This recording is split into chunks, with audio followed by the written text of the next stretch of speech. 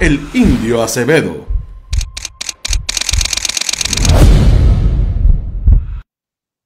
Muy buenos días, Puerto Rico y el mundo. Soy Carmen Enit Acevedo y estoy a las 8 y 18 de la mañana aquí en Chicago, en el Centro Cultural Segundo Ruiz Belvis. Como saben, llevamos una semana conversando con los eh, miembros de la diáspora puertorriqueña en esta ciudad, conversando con diferentes líderes de organizaciones, de cuál es el proyecto que queremos iniciar desde Chicago, desde este centro tan puertorriqueño, con esa diáspora que se reparte, que se reúne en cualquier parte del mundo. Y la experiencia ha sido maravillosa. Vamos a hablar hoy viernes sobre eso, cómo lo hemos hecho, qué es lo que hemos hecho, cuál es la conversación que hasta el momento hemos tenido con ellos y que culmina esta primera fase esta misma noche, cuando tengamos esa actividad aquí en el Centro Segundo Ruiz Belvi, Centro Cultural, con su director ejecutivo Omar Torres Corray, la doctora Jacqueline Lazú, con quien vamos a conversar sobre sus investigaciones, en este momento haciendo una investigación importante sobre la diáspora y los movimientos de las poblaciones eh, a cualquier parte del mundo sobre todo aquí a Estados Unidos. Lo que pasó en Chicago, desde que llegaron y empezaron a llegar puertorriqueños al área de Lincoln Park. Importante que también hemos hablado y discutido con miembros de este centro, con personas como Lilian Ferrer, Iris, que ha estado con nosotros, y Marilia Gutiérrez, que son el grupo que se se convocaron, se autoconvocaron y realmente eh, empezamos a hacer esta gestión hace ya más de un año. Y Lilian Ferrer puede dar fe desde la primera vez que nos vimos allí en Buen Vecino Café. Puertorriqueñas que han decidido salir del país y que han hecho patria aquí en la ciudad de Chicago. También vamos a hablar de Fermín Fontanes. Desde Puerto Rico vamos a hablar de Fermín Fontanes y lo último que conocemos que le negó a periodistas bona fide documentos públicos sobre la transacción de extensión de contrato de Luma Energy. Los cuartos oscuros de la administración que dirige eh, Fermín Fontanes, administración de las alianzas público-privadas que se colocan eh, de espaldas al país en un momento tan importante con esa privatizadora de energía, de transmisión y distribución de energía. También vamos a hablar de la terrible noticia de una mujer, una eh, octogenaria que encontraron muerta en el área de Cupey, ya después de tres, cuatro días de que hubiera fallecido, con una hija de 56 años, síndrome Down, que era quien aparentemente la cuidaba, sola en la urbanización El Cerezal, calle Cirico, allí en Cupey. ¿Dónde están los policías de Antonio López que fueron a esa querella y no pasó nada. Vamos a hablar sobre eso. Y tenemos que traer, y yo creo que esta es la antesala a ese resumen que vamos a hacer de año, de cómo se ha colocado y comportado el gobernador de Puerto Rico, Pedro Pierluisi, cuando se le ha confrontado con los fogones prendidos que tiene en Puerto Rico. Vamos a traer un video que recopiló el compañero colega periodista Roby Cortés, Bobby Cortés, Roby, perdón, Roby Cortés, en el que trae esa conferencia de prensa en, el, en que el gobernador habló sobre la protesta de los bomberos. Vamos a ir recopilando, los tenemos casi todos y vamos a seguir recopilando esas manifestaciones del gobernador para el 30, entre el 29 y el 30 de diciembre traer nuestro resumen y así poder colocar en justa perspectiva el contexto en el que el gobernador habla. Pero vamos a ir adelantándonos en estos días para que ustedes no los olviden y los pongan en la nevera. Y por último, tenemos que hablar de Joan Rodríguez Bebe, que sacó el cepillo, la alcancía en Navidad, para decirle al país que va a correr en el 2024 y que tiene toda la intención de recoger chavitos. Y fue bien clara el máximo que pueden dar a nivel legal. Vamos a hablar sobre eso.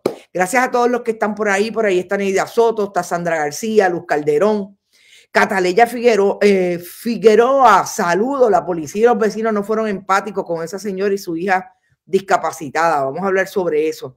Se burlan de todo, dice Miguel Ángel Díaz Pagán. También está por ahí Miguel Ángel, bueno, ya lo dije, Miguel Ángel, Adalberto Ramos, como siempre, Luisa María, eh, Vélez Maite, saludos Vélez.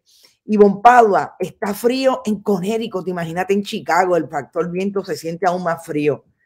Yo eventualmente en la vida les contaré, pero he pasado un frío porque la verdad que hace frío. Yo tengo, se los he dicho, un montón de capas de, ropa y no hay manera. Anden la Azucardona también está por ahí. Saludos a Eduardo Malavé. Hey, hey, Joel, frío, muchacho, que sí, frío. Lindo y bendecido, bonito, Magda. Sanabria, saludos, Magda. Por ahí está Gladys Esther, como siempre, Evelyn Torres, Ana Rosado, María Jiménez, Mabel Rivera, Luz Díaz desde Winter Garden, Florida, Ivonne Padua, y Lilian Ferrer, amiga, qué bien la pasamos anoche, hablamos muchísimo, nos pusimos al día, Irán Rivera, eh, Miguel Ángel también está por ahí, María Adorno, bueno, está todo el mundo. Joel Torres, buenos días, Nicolás Marrero, las policías de Antonio López están dándole protección a los que cierran carreteras públicas en Guayama. Vamos a empezar por ahí, vamos a empezar por esa nota que coloca una vez más la, en la mente de quien la lee qué está pasando con aquellos y aquellas que residen en una urbanización abierta. El Cerezal es una de las, de las urbanizaciones más viejas de Puerto Rico, eh, en Cupey. Una, bueno, está abierta en parte, el área donde está eh, Noti Palma, digo, perdón, Noti 1 está cerrada, eh, pero bueno, es que eso es una, una eh, propiedad que, que, se puede cerrar, pero el Cerezal es esta urbanización, como digo, entre el expreso de Río Piedras de San Juan a Caguas, toda esa área de Cupey que es bien, bien, está bien atropellada en términos de tráfico, etcétera. Y queda en aquella esquina.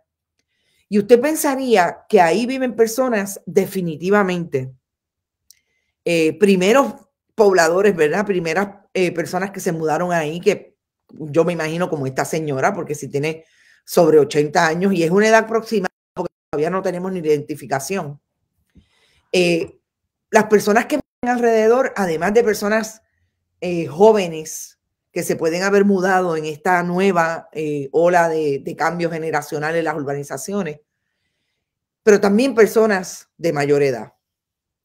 Es decir, que estamos ante un caso que lo hemos visto antes, lo vimos con una mujer en el condado, una profesora universitaria que murió, que su esposo murió y lo tenía allí hacía más de un año. Eh, el hedor de un cadáver es bien fuerte. La información que tenemos es que las, los vecinos aledaños a esa residencia se querellaron de que hacía tiempo que no veían a la señora, o sea, hace unos días que no la veían, pero también que había un fuerte hedor. La policía fue y la policía determinó que allí lo que estaba pasando es que habían animales muertos. Yo quiero hablar de la policía primero porque yo insisto que si hubo alguna llamada de parte de los vecinos, alguien se preocupó y eso pues nos habla bien de una vecindad que definitivamente eh, la gente debería estar, mire, no es que usted se meta en la casa del otro, pero debería estar pendiente, caramba, hace días que yo no veo a fulana, hace días que no veo a sutano. Eh, independientemente de cómo usted se lleve, porque parte de lo que pasa en, en este tipo de, eh, de organizaciones residenciales es que pues obviamente la gente difiere, la gente tiene, hay gente que tiene conductas eh, indeseables, etcétera, etcétera. Perfecto. Pero caramba, es una comunidad.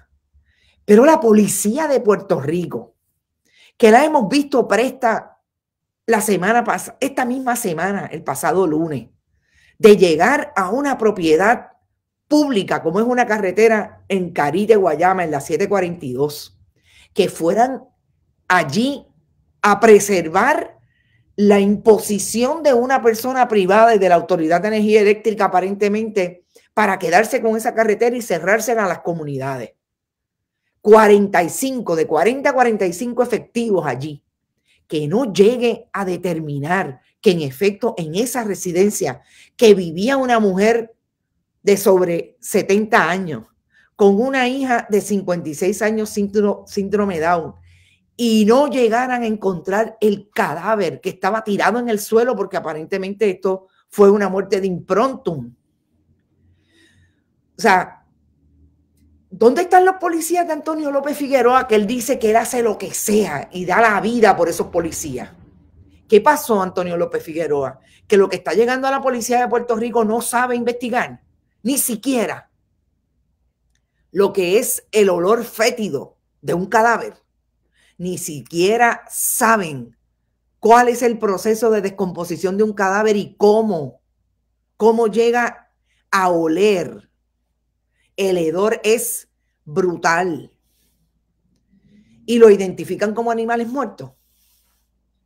Esta es la policía de Antonio, el coronel Antonio López Figueroa. Esta es la policía del Departamento de Seguridad que le dirige Alexis Torres y del gobernador de Puerto Rico, Pedro Pierluisi, comandante jefe de la policía de Puerto Rico, porque así se supone que es el protocolo de seguridad. Pero esta es la policía también de Tomás Rivera Chats, de ese que los defiende a ultranza. Ahí están, prestos para ir a detener la capacidad y el derecho que los puertorriqueños y ciudadanos del país tienen de expresarse en una protesta versus eh, la gestión que tienen que hacer para identificar el cuerpo de una mujer, identificar las circunstancias en que se vive en esa casa.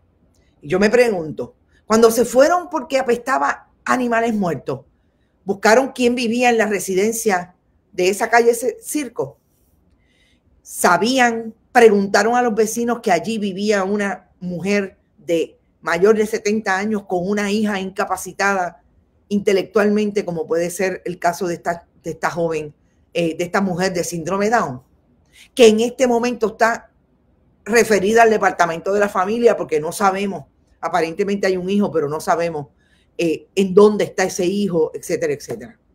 Este es el país en el que dirige hoy el gobierno del Partido Nuevo Progresista y esas son las prioridades de la policía de Puerto Rico. Buenos días, Carmelo Ruiz. Edgar García también está por ahí. Y el padrote Gregorio Matías, exactamente. El comandante Pierre Luis y lo peor, dice Yanni Moreno. Eduardo Malavea, ay Dios mío. La Digester dice, tienen sus prioridades en otro foco que no es la seguridad del país. Y yo quiero poner esta imagen de un tuit que compartió en sus redes la licenciada Mariana Iriarte, que es una, ha sido un recurso de Bonita para hablar sobre los asuntos que ella postula eh, como parte de su trabajo legal y es el acompañamiento de víctimas, etcétera, etcétera, de violencia de género. Vecinos hacen querella porque hace días no ven a su vecina. Los policías fueron varias veces sin hacer nada. Una señora de 80 años muerta hace dos semanas y la cuidaba su hija con síndrome Down. ¿Para qué sirve la policía? Obviamente para protegernos no es. Esta es la opinión de mucha gente en Puerto Rico en este momento, pero están prestos para bajarle con todo a los activistas de se acabaron las promesas, a los estudiantes de la Universidad de Puerto Rico, a los viejos y viejas de las comunidades aledañas al barrio Carite en Guayama, a los que protestan y a las que protestan en Rincón y en la Cueva Golondrinas en Aguadilla. Ponlo en la nevera. Esto es a lo que se dedican. Saludos desde Mayagüez, dice José Anirri. Eh, ¿Será que los polis están igual que los demás empleados del gobierno por los 15 y los 30 y con calma? Que esto es para 30 años. Buenos días, Griselda Cartagena. Kenia Rosado también está por ahí. Es increíble que tan siquiera pudieran llamar a la puerta para ver si alguien contestaba. Exactamente. Papo Doner, buenos días a todos, buenos días a ti también. Parece que el esposo de la señora ya había muerto. Yo me imagino el cuadro. Entonces, una vieja cuidando a su hija, a quien toda la vida cuidó, a quien, de quien toda la vida se hizo cargo. Esto se repite muchas veces en Puerto Rico. Y el asunto de los vecinos y las vecinas. Yo le tumbo la puerta a mi vecino si no lo, no lo encuentro. Y después me encargo de bregar con que en efecto le tumbé la puerta. porque allí huele y hay un hedor a persona muerta. A mí me pasó exactamente lo mismo con una mujer que vivía frente a mi casa. Jamás me olvido, una maestra de la escuela Miguel Such. Tenía, doña María tenía ya 78, eh, 79 años. Vivía sola. Los vecinos, eh, había muy pocos en ese momento, muchas casas vacías. Y ustedes saben que obviamente hay muchas urbanizaciones que está ocurriendo esto mismo. Doña María un día se acostó, donde ella siempre se acostaba en el, en el eh, sofá de su casa, en la sala, no se despertó. ¿Ustedes se creen que la encontraron por la peste? No. Los vecinos nos dimos cuenta, una persona que la cuidaba de vez en cuando, nos dimos cuenta, llamamos a la policía, no llegó, le tumbamos la puerta. Allí estaba doña María, se encontró. No, es, imposible que esto pase. Con eso los quiero dejar. Ellos están cuidándole el fondillo a piel luces de la fortaleza. Cuando necesitan el voto no hay que, ni que llamarlo. Bueno, ya hemos visto como Pedro Pierluisi sí se reúne con el pastor para pedirle que le busque los votitos en la Corporación del Fondo del Seguro del Estado. Y de ahí yo quiero ir y quiero establecer que a las 8 y 34 de la mañana nos recordamos y aprovechamos para agradecer el auspicio de RAM, la Fuerza del Trabajo. La cooperativa Manuel Seno Gandía, ahí siempre con el esfuerzo periodístico. Y Buen Vecino Café. No me pudiera dar un, café allí. Yo quiero que sepan que aquí son las 6 y 35 de la mañana. Estoy lista para el café, pero no me lo puedo dar. Esto es un país sin gobierno, sin agencias de ayudas sociales, con vividores de nuestro dinero que son buenos para cobrar. Y vamos al segundo tema. El segundo tema, yo quisiera que fuéramos directamente a la historia y que, que quiero traer el video del gobernador. El gobernador en el momento en que uno de los fogones prendidos de los empleados públicos se dio en el cuerpo de bomberos. Y yo quiero contextualizar este video antes de pasárselo para recordar.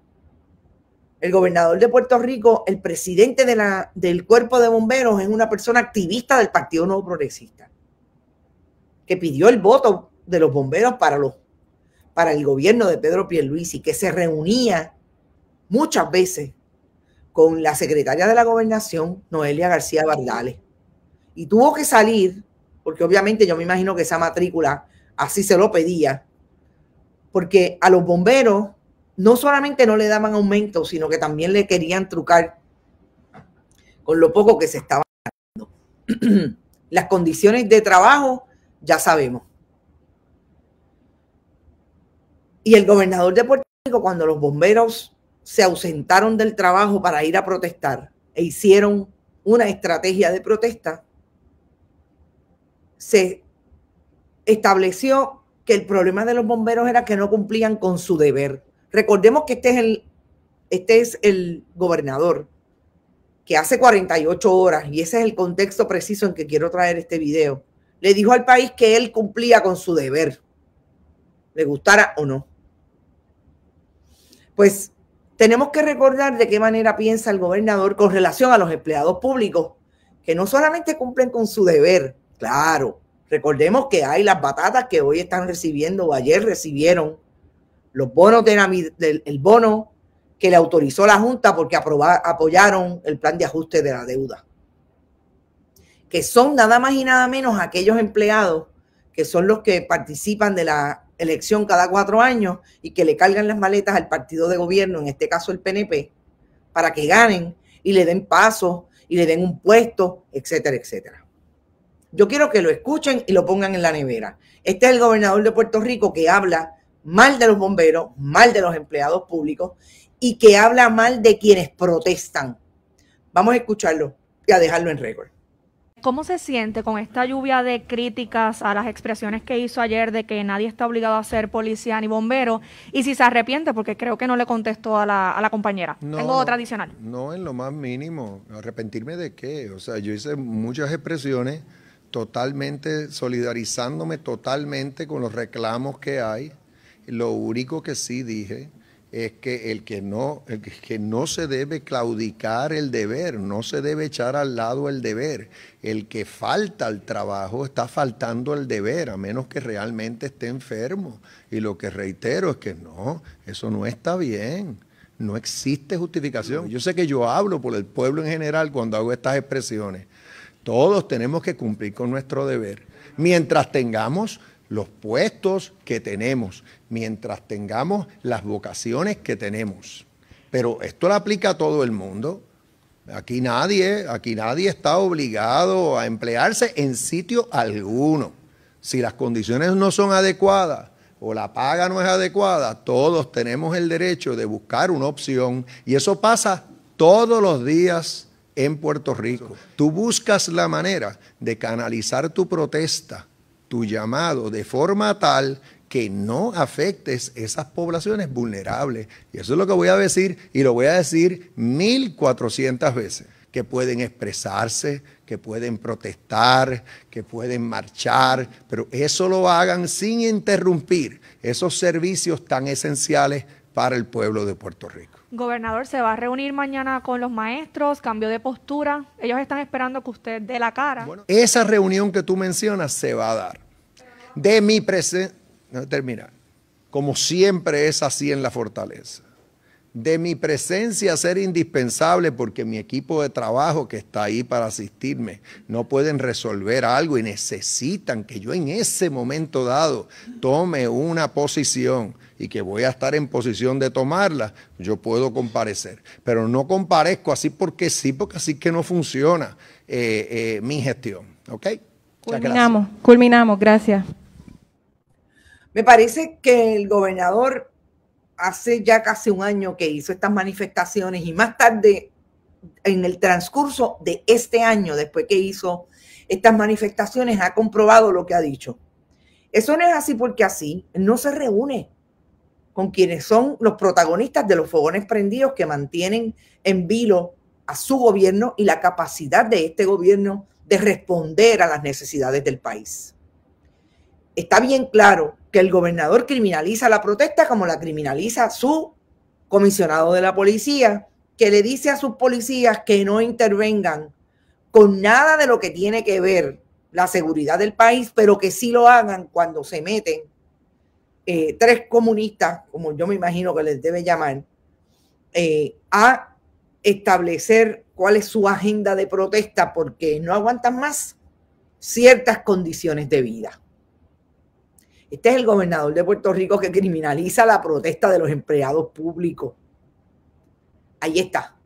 Ponlo en la nevera y guárdalo porque vamos a hacer un análisis completo de cómo queda la imagen del gobernador, del gobierno del 32%, en un momento en que parecen enfilar los cañones a que quieren ser los candidatos para el 2024 de ese partido de gobierno y que tienen a un comisionado electoral como Edwin Mundo, pasándole la factura a aquellos que recibieron ayer el bono, que se recuerden quién les dio el bono para que obviamente él tenga que hacer menos trabajo como el que hizo en las elecciones del 2020 no hará nada, solo buscando más dinero para su bolsillo.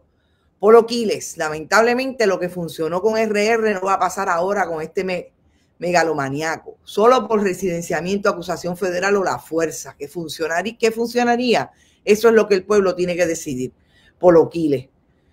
Eh, saludos, Polo, qué bueno que estás por ahí. Así no funciona, yo me reúno, yo no hago eso. Yo me levanto por la mañana, me como un buen desayuno y no hago más nada. Ave María, mis Serrano, como se ve que eres de country. Definitivamente, bien parecido a la canción del Gran Combo. al gobierno no le importa con los chavos que soltó gana, dice Rubén Sol Millán. Eh, Papo Doner, Pipo no se reúne, se huye cada vez que se prende un fogón. Saludos, Rafael Marrero. Y de ahí vamos a pasar a Fermín Fontane. Porque a mí me parece que estas palabras del gobernador son definitivamente eh, del pasado las que debería estar también repasando hoy y aquellos que nos están escuchando desde la fortaleza, pónganle este el programa al gobernador para que él vea cómo él pensaba hace un año y medio y lo que hizo ayer Fermín Fontane. el gobernador dice que hay que protestar de 8 a 5 en la en el, en el, en el momento en que están o tomando los alimentos o de break. Porque eso parece decir el gobernador cuando dice así no se protesta. Bien parecido a lo que dice la derecha y a lo que dice Fotuto, etcétera, etcétera. Pero ayer Fermín Fontanes le negó al compañero Leoncio Pineda la, el documento público que iría a sostener la validez de la votación de la extensión del contrato de Luma por parte de la Junta de las Alianzas Público-Privadas, de la Administración de las Alianzas Público-Privadas. Y le negó ese documento diciendo que es confidencial. ¿De cuándo acá? Un documento que se paga con fondos públicos, que viene a establecer la validez de esa transacción y de cómo se dieron los asuntos allí administrativos en las alianzas público-privadas, es un documento confidencial, Fermín Fontane. ¿Por qué el cuarto oscuro? ¿Por qué no quisieron? ¿Por qué no autorizaron la grabación de esa reunión de la Junta? ¿Por qué? Porque también podemos decir que los dos representantes del interés público debieron haber grabado. Yo no sé si ellos lo saben, pero hay un caso en el Tribunal Supremo de Puerto Rico que admite la grabación de un empleado. Estos son abogados los dos, Eduardo Ferrer y Liz Ortiz. Admite que una reunión entre un empleado, empleado y su patrono se grabe, porque la presunción es de que en efecto esa, ese eh, empleado quiere preservar esa reunión con su patrono. Hay un caso en el Tribunal Supremo, no recuerdo la, la cita, pero búsquenlo. Debieron, para mí, si usted está tan empoderado y quiere ser tan representante del interés público y de los consumidores, grabarla. Ah, ellos dijeron que no, yo la voy a grabar. Y la graban. Eso es una actividad pública pagada con fondos públicos. Porque parte de lo que ocurre aquí, y yo todavía insisto en que no ha venido al tribunal antes y ahora decir que están pensando ir, es el ninguneo, es el, eh, el estar eh, con Dios y con el diablo, porque obviamente ahí hay hachas que amolar, sobre todo de Eduardo Ferrer, ¿verdad? Que es más PNP que popular. Pero Fermín Fontanes también dejó claro que no se autorizó la grabación. ¿Por qué?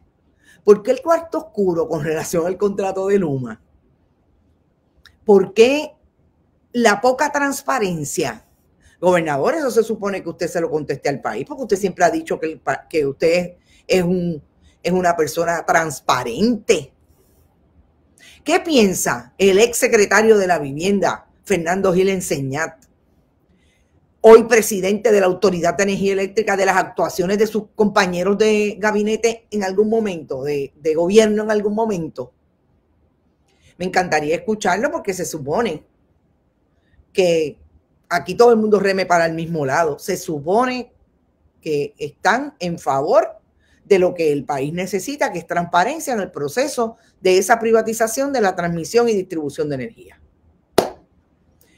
Eh, María Cruz dice, Eduardo Ferrer no es el abogado de Walter Pierluisi en el caso del FBI. Claro, él y Osvaldo Carlos. Pero yo no le cuestiono a, Eduardo Ferrer que tenga un, uno u otro cliente. Tiene derecho, él es abogado. Eso no es lo que se cuestiona. Lo que se cuestiona es precisamente para quién trabajan. Para qué intereses trabajan. Porque se supone que está mencionado, está nombrado en la APP precisamente como representante del pueblo, pues que lo que contesten. No, yo creo que a esta gente le pasa como mucha gente aquí en Estados Unidos, que son más del capital que de su raza, son más de su clase que de su raza. Dice Raymond Ortiz, nada va a pasar. La cara y expresiones físicas de Fermín son bien elocuentes. Preguntemos a Brenda. Ah, sí, eso viene pronto. La semana que viene tengo programa con Brenda el miércoles. Y de hecho, el martes está a las 11 de la mañana en Esto es lo último con ustedes, la compañera Vivian Torres, Viviana Torres Mestey, que va a quedarse con el programa en lo que yo regreso de Chicago. El miércoles volvemos a el lunes volvemos a hablar ustedes y yo desde aquí, desde Chicago, y entonces el miércoles los programas tal y como. Pero ambos representantes han dicho que están a favor de la privatización. Ah, bueno, claro. Ellos no son muy lejos, por eso les digo. Ellos no están muy lejos de aprobar la privatización. Lo que pasa es que están tratando de zapatearse la mala imagen que les ha quedado con que no votaron. Se abstuvieron de votar con una eh, excusa leguleya que el diablo se las cree. Eh, esto se comenta en eh, eso se comenta. Llegaron las navidades de nuevo, ya aprendieron, no sé lo que son los movimientos. Dalmau y Tatito callado con el asunto de los delegados Ferrer y Ortiz. Pues claro, imagínate. Como diría mi abuelo, billete, eh, sobre billete no hay que se sujete. Ariel Rodríguez. ¿Cómo es posible negociar para el público y el público no saber en qué negocio exactamente? Fermín no se perjuró al decir ayer que no hay métrica. Eh, ¿En qué sentido te perjura? Se perjura. Bueno, no está ante ningún foro de que miente, miente. Yo estoy clarísima. Eh, porque ayer hablábamos que si no hay métricas, entonces son mediocres en el ejercicio del poder. Eso está clarísimo. Estos partidos de pacotilla deben eliminarse, dice Ivette Mejía. Privatización no es igual a tumbe, solo para el PNP, la dije Esther. Edgar García, Fermín no se perjuró posiblemente charlatán, dice Lourdes Pérez. Bueno, y de ese tema, eh, yo creo que vamos a pasar, eh, voy a dejar a Joan Rodríguez Bebe para último. Yo quiero brevemente decirles qué es lo que nosotros buscamos y proponemos con este proyecto que se inicia en Chicago, de que nosotros tengamos una conversación en dos vías con la diáspora puertorriqueña que no es otra cosa que establecer, y quiero traerlo así de claro en este programa hoy. Yo creo que en Puerto Rico no ha habido un proyecto, una estructura desde ningún foro de comunicación.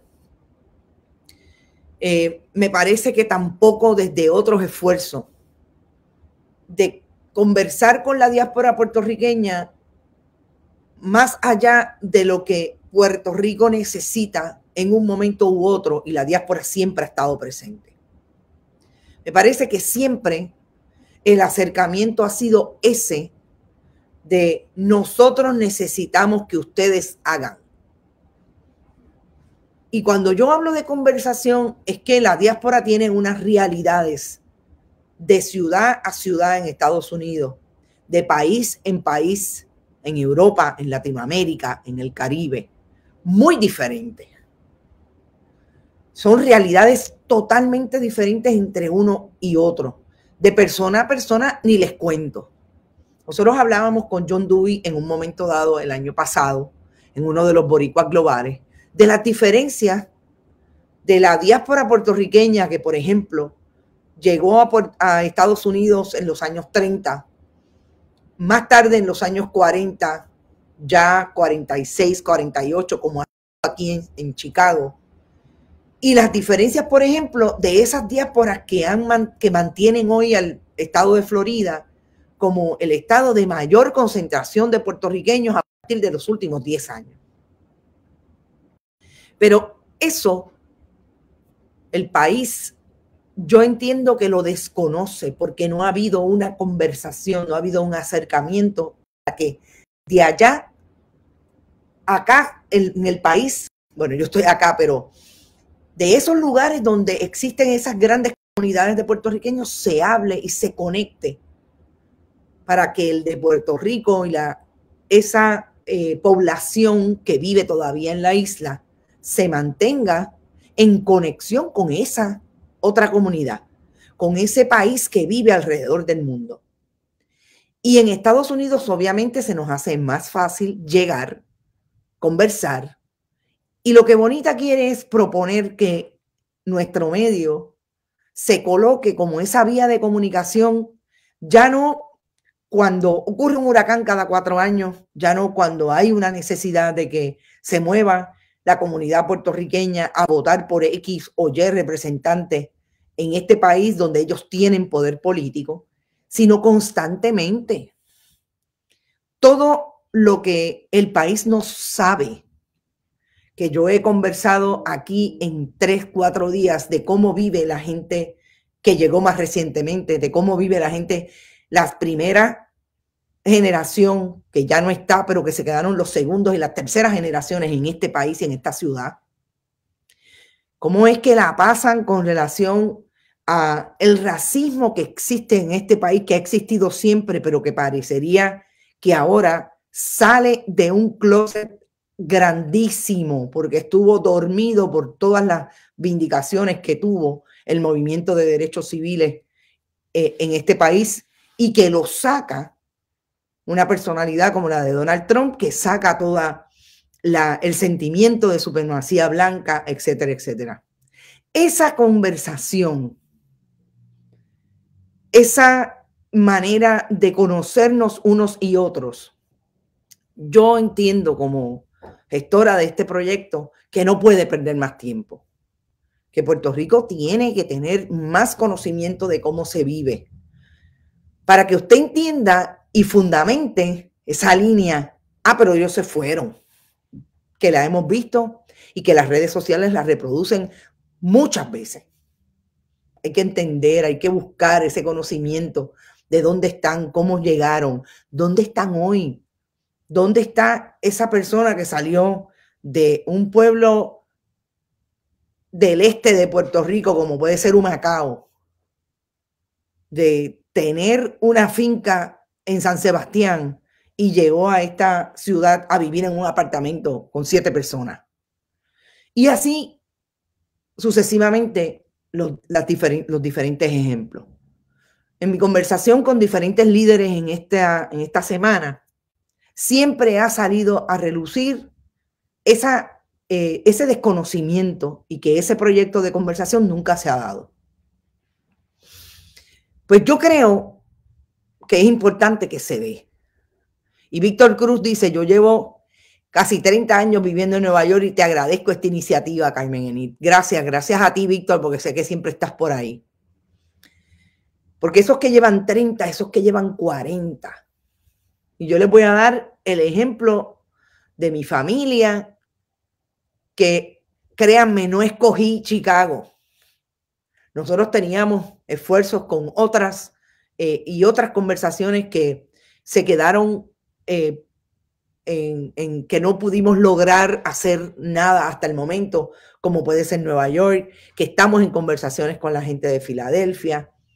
Pero en Chicago, a Chicago llegó mi abuela, esa Reyes Vázquez de que tanto yo les hablo, que es una mujer, que fue una mujer con 11 hijos, que Cheobalún, como también les conté en un momento, le dio el dinero para que se montaran en un avión de Pan American con sillas plegadizas y aquí llegaron a esa área que se conocía como el barrio en la Clark. Y esa gente vivió aquí unos años, mi abuela nunca aprendió inglés, estuvo aquí, aquí se crió los primeros años de su vida, hasta los 15 años mi madre, mis tías, los más pequeños, los hombres se quedaron y las mujeres regresaron a Puerto Rico.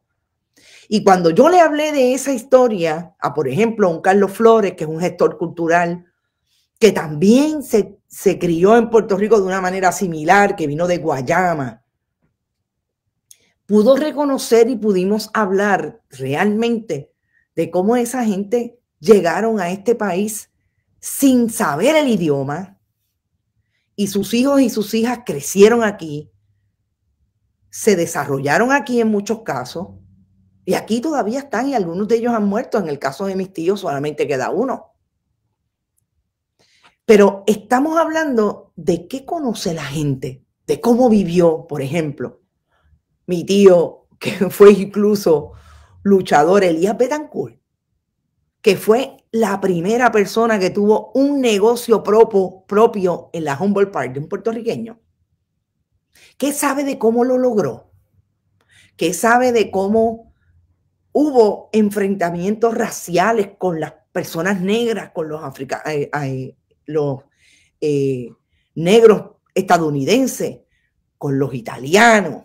O sea, los cuentos son increíbles a nivel familiar, pero como un medio de comunicación puede gestionar la diáspora para hablar de lo que necesitamos de ellos, pero no gestiona lo que nosotros tenemos que saber de sus necesidades. Y eso es lo que hemos venido a hacer a Chicago. Hemos venido a crear este, este, esta comunicación permanente y me satisface que sea desde aquí que empecemos a lograrlo, que las compañeras, como les dije, Iris, Marilia, Lilian, José Morales, Jorge Félix, han entendido claramente cuál es el proyecto que quiere Bonita Radio con esta diáspora. El apoyo del Centro Cultural Segundo Rick el apoyo de todos los que nos hemos conocido acá, que ahora conocen el proyecto. Para que tengan una idea, tuvimos una excelente relación, eh, conversación con el presidente del Centro Cultural Puertorriqueño, José López, con el presidente del Museo de Arte e Historia Puertorriqueña, ese gran logro de un proyecto que visibiliza la cultura puertorriqueña, Billy Ocasio. Y con ese tipo de, esfuerzo y esa conversación, vamos a hablar con otro liderato. Aquí están haciendo unos proyectos increíbles para unar esfuerzos con todo el liderato de esas organizaciones puertorriqueñas a través de todo Estados Unidos. ¿Por qué?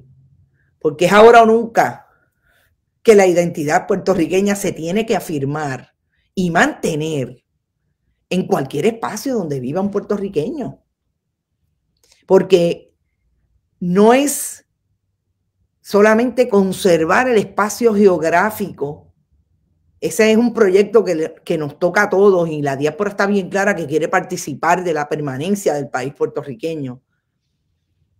Pero es que también tenemos que mantener estos que han hecho patria en donde quiera que se encuentren. Y todo eso, créanme, ha sido de gran satisfacción para mí. Eh, es una conversación intensa. Unos y otros tenemos nuestras teorías de por qué esto no se ha logrado. Pero yo creo que ya es hora de que el país entienda y sobre todo un proyecto independiente como Bonita Radio, que nos comprometamos con que esa conversación no pare y que haya más y mejor capacidad de ese país que está allí geográficamente instalado en el Caribe, donde y cómo viven aquellos que están haciendo país en cualquier parte del mundo. Eh, saludos a, José López, dice Carmelo, perfecto. Mañana tengo una reunión importante con la agenda puertorriqueña y ya les contaré cómo me fue. Hay boricuas en casi todo el mundo, así es. Saludos a la, desde la diáspora en Bayamón, José Robert, saludos. Como boricua no podemos permitir que nuestra cultura muera por culpa de los políticos patria. Me encanta, Mary Fonseca. No recibo notificaciones, Ariel, es que esto se pone difícil, tranquilo. Vea, vea los settings de Facebook y allí le dices que quieres vernos primero, pero siempre conéctate a las 8 de la mañana en el caso de Noticias con Café, a las 11 de la mañana esto es lo último y a las 5 de la tarde, eh, ¿qué palo es noticia? A las 6 de la tarde, Rodrigo Terogoico siempre con más de una milla y los deportes. Mi padre tuvo colmado en Chicago en los 60 y bombado, imagínate. Y el FBI no sé qué esperan, que saben con nombres y apellidos los corruptos de la fortaleza y el Capitolio, no sé, los llevan presos. Tranquila, Cadalella. Bueno, y el último tema, definitivamente, eh, definitivamente el último tema importante. Joan Rodríguez Bebe. Fíjense que cuando hablamos de la diáspora, hablamos también de que a ellos les ha ocurrido como a, cualquier comunidad que viva eh, fuera de su entorno. Pero en este caso, es una, eh, para mí es un, es, una, eh, es un movimiento histórico del momento en que estamos viviendo hoy. Y tiene que ver con el fundamentalismo religioso. Estados Unidos también padece y carece de eh, el movimiento más grande de las eh, religiones o, movimientos, sí, en efecto, religiones históricas como son los protestantes desde las comunidades bautistas, la Iglesia Católica, etcétera. Y se ha percolado también aquí en Estados Unidos todo el esfuerzo que ha hecho sobre todo el movimiento político para que surjan estos movimientos eh, de base de fe que se plantean desde la misma forma en que algunos partidos políticos plantean que debe ser la vida, desde eh, esa fe absoluta, ciega, en que también nos vamos a poner a limitar los derechos de cualquiera que tenga capacidad de pensar, etcétera, etcétera.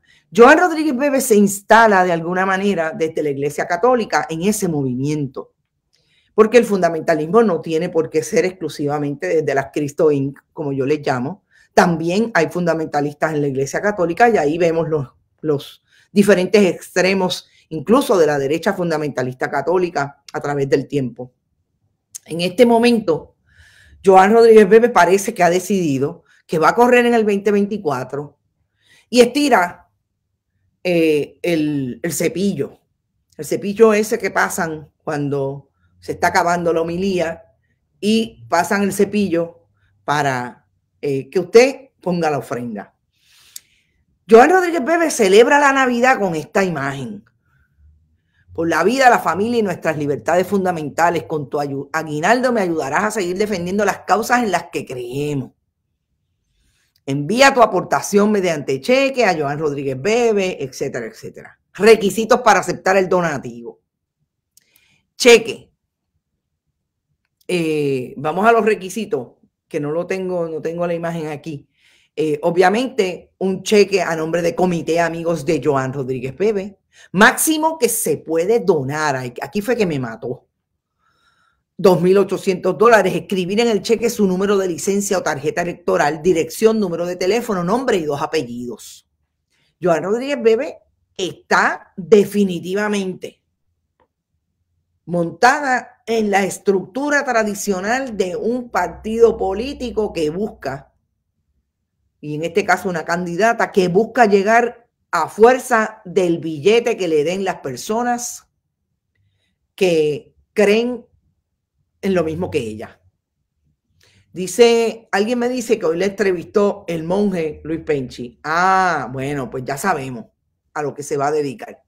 Eh, pero Joan Rodríguez Bebe tiene un problema y es que se parece demasiado. Yo creo que con esto podemos terminar el programa, se parece demasiado a lo que precisamente hace el Partido Nuevo Progresista. Para quererse distanciar es idéntica. Esto es lo que hace el Partido Nuevo Progresista. A fuerza de billetes yo quiero llegar a ser. Y en este caso, obviamente, yo quiero llegar a ser para limitar el derecho de las mujeres, para limitar los derechos de las comunidades LGBT, para mantener la inquisición que quiere y que ha mantenido Gracias a José Luis Dalmao, que no olvidemos que fue el que la colocó en la dirección de esa eh, comisión de vida, whatever, para que ella pudiera tener una plataforma para sus discursos antimujer y anticomunidades LGBTQ. Porque ella fue el voto decisivo para que él fuera el presidente. Y ella fue el voto decisivo para que él también la apoyara en su esfuerzo de decir que las mujeres matan cuando abortan. Estos son de un pájaro las dos garras. Dice Adi Pietri, Rodríguez Bebe está pendiente solo a legislar para su religión, no para el pueblo. Se les olvida que en nuestra constitución dice bien claro separación de iglesia y Estado. El fanatismo religioso nos separa. Ahí está. Eso es lo que piensa la, gente. Lo más chistoso es que su amiguita de la premisa la defiende a, capa y espada. Bueno, porque la premisa articulada quiere ser definitivamente miembro de ese partido. Y yo creo que eso es lo que van a hacer. Qué bueno que se dividan esas fuerzas retrógradas, Ana Rosado. Esto va a dividir definitivamente los votos del PNP para conseguir y consolidar poder capitalizarnos los prejuicios y la opresión. Así es, Ricardo Vargas Molina. Saludos, Ani Román, aunque tarde, no, nunca es tarde si la dicha es bonita radio. Me río, pero no es chiste, Poloquiles. Eh, le falta fundar el Partido de Dios, así es. Un pueblo que está contra la pared con tantos aumentos, no los servicios y un mísero sueldo, y se atreve a pedir dinero que fuerce cara. Evelyn Torres, eso es lo más interesante. Hay gente que está eh, dispuesto a darle. Vamos a ver en un mes, en enero, regresamos y vamos a hacer el análisis de los números que le llegaron a Joan Rodríguez Bebe. Eh, podrá ser buena en las redes sociales, pero haciendo campaña en persona son otros 20 pesos. Eso es así, Víctor Cruz. Santurce Vieques aquí presente, dice H. Luis Guadalupe. Es gracioso, cuando se mudaron, mi cuñado fue al súper y compró patitas de cerdo. Y una señora lo miró mal, dice Yolanda Báez. Después, él averiguó que otras personas que vivían allí boricuas era que las patitas solo la comen los de raza negra. Ustedes saben que a muchos no nos gustan, pero no las volvió a comprar. Cuando venía a visitarnos, mi mamá le preparaba un, le preparaba un hoyón wow, son bien racistas los rednecks. Ya no los come, pues caminó, cambió mucho su dieta hace años. Es interesante todo, el asunto de la comida, eh, la música, cómo permanece el, la cultura musical y la cultura gastronómica que los une de una manera brutal.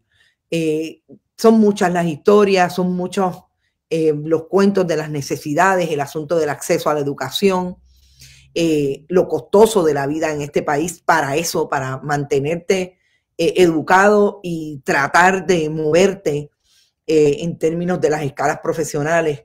Es mucho, es mucho y, y, sobre todo el momento que vive Estados Unidos, que es un momento muy extremista desde el punto de vista de lo que no quiere la supremacía blanca y de lo que hace para imponerse.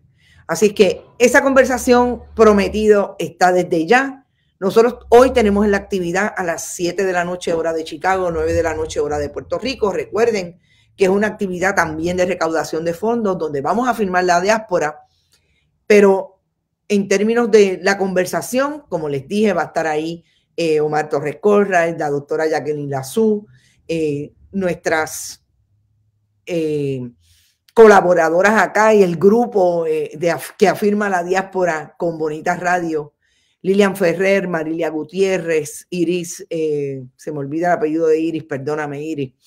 Eh, es mucho lo que vamos a hacer y que vamos a proponer. Así que no se olviden, esta noche conéctense, compartan, compartan, compartan y mantenga viva la voz porque hay Bonitas Radio para rato. Yo me voy, éxito, nos vemos. Gracias a David por siempre estar disponible y qué bueno que se mejoró. Recuerden, hoy a las, en la noche y nos vemos el lunes en Noticias con Café. Hasta esta noche. Cuídense mucho. Bonita radio. Esto no es un cuento. Esta es la verdad. Este programa fue traído a ustedes por RAM, la fuerza del trabajo. Cooperativa Seno Gandía, solidez y futuro. Buen vecino café. Y no olvide que puedes realizar sus donaciones a través de ATH Móvil en la sección de negocios como Fundación Periodismo 21. O puede acceder a nuestra página de internet bonitaradio.net y donar a través de PayPal o tarjetas de crédito. También puede enviar cheques o giros postales a nombre de la Fundación Periodismo Siglo XXI, PMB 284, PO Box 194000, San Juan, Puerto Rico 00919-4000. Bonita Radio, esto no es un cuento, esta es la verdad.